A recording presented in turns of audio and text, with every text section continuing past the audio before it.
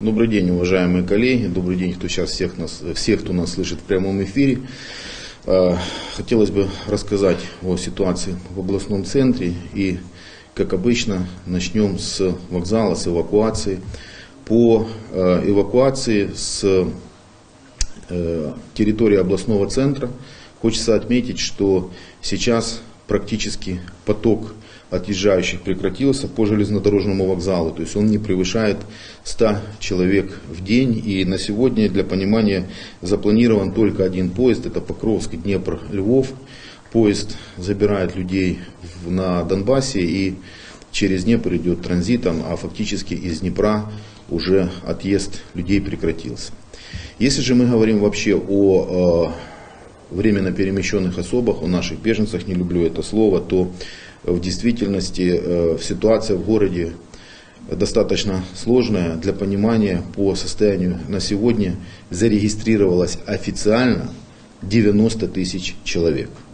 И если же говорить о тех людях, которые не зарегистрировались и вообще о количестве переселенных, э, перемещенных особ, то фактически я думаю, что эту цифру можно э, умножить в два раза, то есть мы абсолютно уверенно можем говорить о том, что в настоящий момент в Днепре прибывает порядка 200 тысяч людей, которые здесь нашли кров, покой и э, находятся на территории областного центра.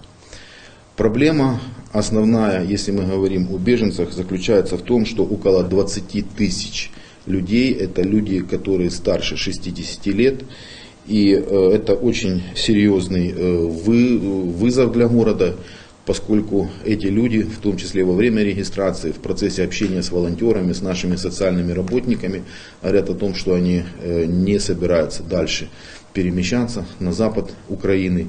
Для понимания сейчас даже прорабатывается уже вопрос вместе с военной администрацией для открытия уже как бы второго гериатрического пансионата, потому что реально люди нуждаются в помощи и это серьезно идет нагрузка на всю городскую инфраструктуру.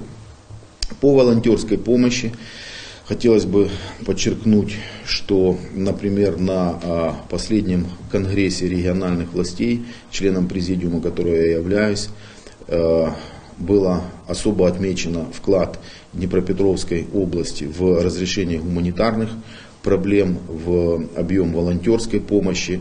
Э, мы на первом месте в стране, в том числе по э, формированию продуктовых наборов. В настоящий момент мы сформировали, я имею в виду вся область, и передали дальше для нуждающихся людей 1 миллион 300 тысяч продуктовых наборов. И эта цифра каждый раз увеличивается, то есть область является лидером в этой э, ситуации, Поэтому мы и дальше будем помогать всем, кто в этом нуждается. И большое спасибо военной администрации, Валентину Михайловичу Резниченко за то, что таким образом мы смогли скоординировать все наши усилия для того, чтобы помогать всем нуждающимся. И это уже видят в том числе на а, правительственном уровне, и нашу область ставят в пример всем остальным областям, для того, чтобы все как бы подтягивались и таким образом шли за регионом лидером.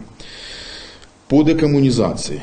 А, в среду состоится внеочередная сессия городского совета, и я хотел бы проанонсировать сегодня на брифинге в то, что э, если мы успеем этот вопрос обсудить с депутатским корпусом, внести в порядок денный, я думаю, что еще порядка 20 улиц будет дерусифицировано, будут изменены географические названия, связанные с Российской Федерацией.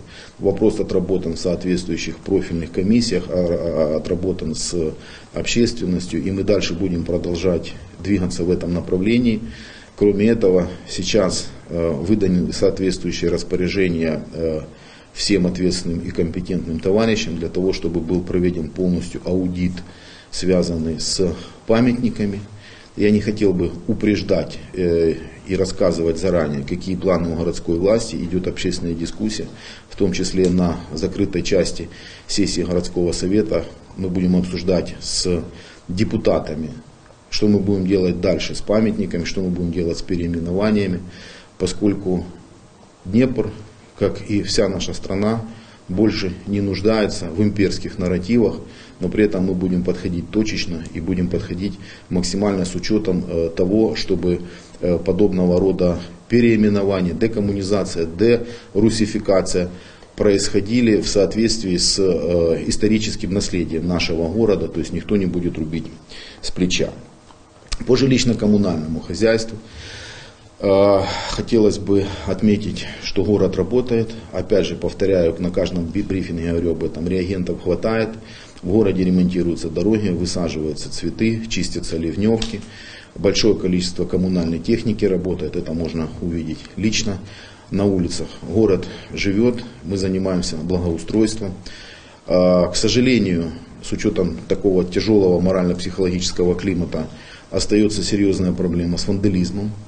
И хотелось бы все-таки, пользуясь случаем, обратиться э, не только к правоохранительным органам, но и ко всем ответственным гражданам.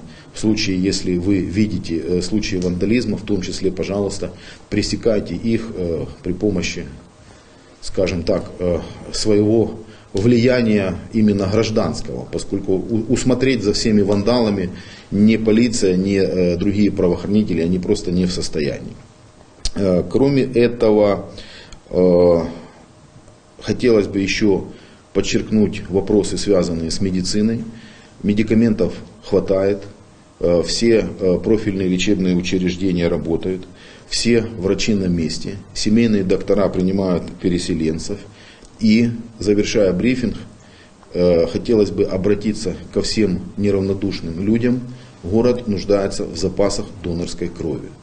Поэтому все, кто сейчас слышит меня. В первую очередь я говорю про четвертую городскую больницу многопрофильную. Хотелось бы, чтобы э, люди сдавали кровь как можно больше, поскольку идет большое количество раненых, не только военных, но и гражданских лиц. И, естественно, это э, первоочередная потребность, поэтому большая просьба всех, кто нас слышит, сдавайте донорскую кровь, этим вы сможете спасти чью-то жизнь. Спасибо, на этом брифинг закончил.